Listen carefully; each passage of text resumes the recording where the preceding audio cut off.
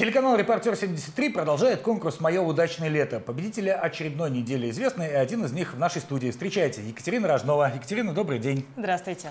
С таким хэштегом отправляли фото? Да, именно с хэштегом «Репортер-73». Рассказывайте, что там, почему именно такая идея вам пришла в голову?